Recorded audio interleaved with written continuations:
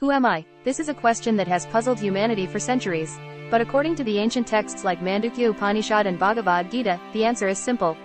We are not just our bodies or minds, but rather the eternal self or Atman. Mandukya Upanishad states that the self has four states of consciousness, waking, dreaming, deep sleep, and the fourth state of pure consciousness.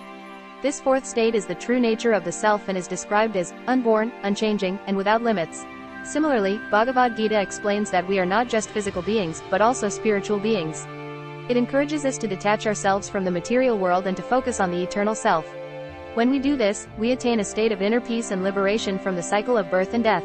Hit the like if you want to learn more about how to attain this state.